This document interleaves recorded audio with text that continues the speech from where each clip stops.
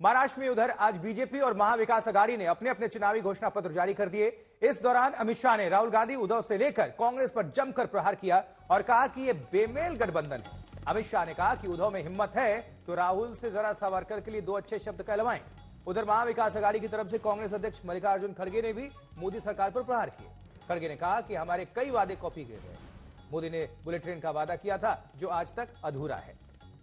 तो MVA versus BJP, देखिए जरा। आज जो घोषणा पत्र, संकल्प पत्र जारी किया गया, किसके घोषणा पत्र में क्या कुछ है? किसने क्या वादे किए? एमवीए 25 लाख का मुफ़्त स्वास्थ्य बीमा देंगे, कह रही है बीजेपी कह रही है एक ट्रिलियन पाँच सौ रुपए में गैस सिलेंडर एमवीए कह रही है। महिलाओं को वित्तीय साक्षरता का प्रशिक्षण देंगे, ये बीजेपी कह रही है।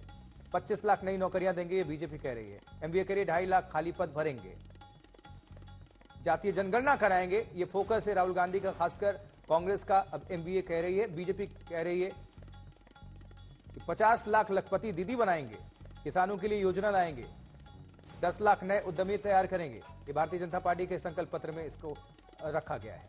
अब दोनों पक्ष इसको लेकर क्या कह रहे हैं, किसके तरफ़ से क्या कहा गया, क्या हमला किया गया, ये सुनिए।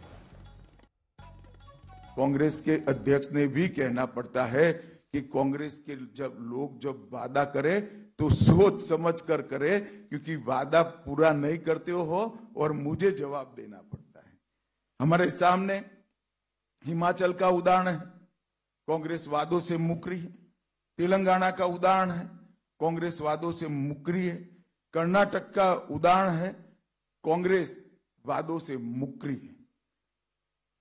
ये अघाड़ी के वादों के विश्वसनीयता पाताल से नीचे गई है और युति के वादों पर पूरे देश की जनता को भरोसा है। भारत की जनता को भी भरोसा है। हमारी कॉपी करने वाले लोग हमको ये कहते हैं कि ये तो सभी लोग ये दिवालापन निकालने के लिए आज किए हैं।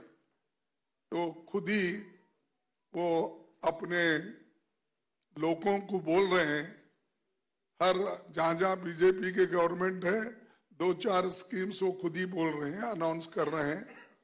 और ये लोग हमको नाम रखते हैं कि ऐसे चीज़ें कर रहे हैं। वहीं भारतीय जनता पार्टी ने अलग से महाराष्ट्र की जनता के लिए संकल्प पत्र जारी किया अमित शाह की मौजूदगी में। तो बड़ी बात यह क्या रही है इस घोषणा पत्र की? अमित शाह ने क्या कुछ कहा है? अब जरा देखिए। राहुल सावरकर पर दो अच्छे शब्द बोल सकते हैं क्या? सवाल खड़े किए। कांग्रेस ने हिमाचल तेलंगाना में वादे पूरे नहीं किए। अमित शाह की जो बड़ी बातें हैं। राहुल ने संविधान का अपमान किया है। कोई सोच नहीं सकता था कि अनुच्छेद 370 हटेगा। सीएए सच्चाई बनेगी, किसी ने सोचा भी नहीं था। भारत दुनिया की तीसरी सबसे बड़ी ताकत बनेगा, किसी ने सोचा नहीं। उद्धव 370 हटाने का विरोध करने वालों के साथ खड़े हैं। राहुल सावरकर पर दो अच्छे शब्द बोल सकते हैं क्या? चलिए, अब आपको सुनवाते हैं, अमित शाह ने क्या कुछ कहा है, कैसे हमला बोला है। जिस संविधान को लहराकर बाबा साहब आंबेडकर के संकल्पों की याद दिलाई, जब किसी प्रेस के मित्र ने वो संविधान की प्रति को खोल कर देखा तो पूरा पूरा था, एक अक्षर भी नहीं लिखा। इससे बड़ा अपमान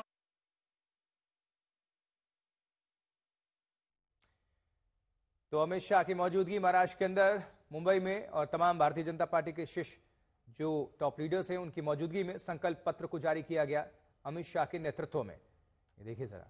और इसमें तमाम जो फोकस है, वो महिलाओं पर, गरीबों पर, युवाओं पर और बेरोजगारों पर। उनके लिए इस संकल्प पत्र में जगह दी गई है। और इसी बीच आपको बता दें, महाराष्ट्र में सीएम को लेकर भी अमित शाह का बड़ा बयान सामने आया। जिसको लेकर कई बार सवाल पूछा जा चुका है। तीनों सहयोगी दल मिलकर तय करेंगे सीएम कौन होगा। अमित शाह ने कहा, अभी शिंदे जी हैं, लेकिन चुनाव के बाद तीनों पार्टियों में जो सहमति बनेगी, उसके आधार पर होगा। अमित शाह को सुनिए।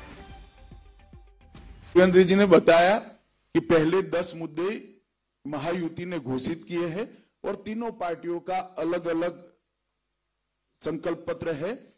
युति की सरकार बनने के बाद तीनों पार्टियों के मंत्रियों की एक कमेटी बनेगी जो तीनों पार्टियों के संकल्प पत्र को विचार कर कर इसकी प्रायोरिटी तय करेगी और शत प्रतिशत इम्प्लीमेंटेशन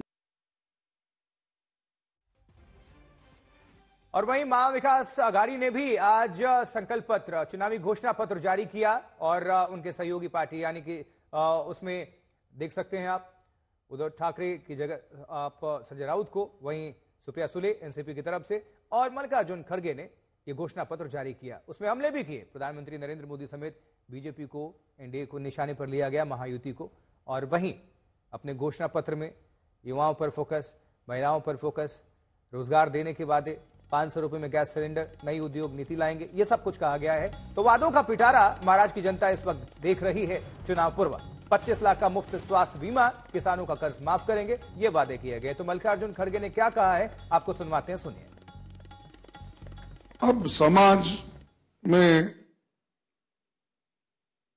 जितने भी बाधाएँ हैं, सबको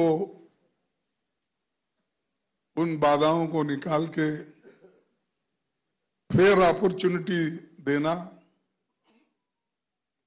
और उनको, उनके स्तर पर, यानी जातीय जनगणना करने का हमने फैसला लिया है और जो 50 परसेंट सीलिंग है, उसको भी हम हटाएँगे।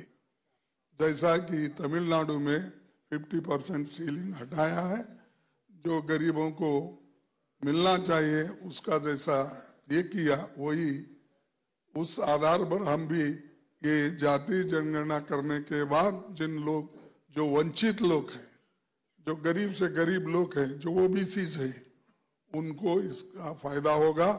ये काम भी हम कर रहे हैं।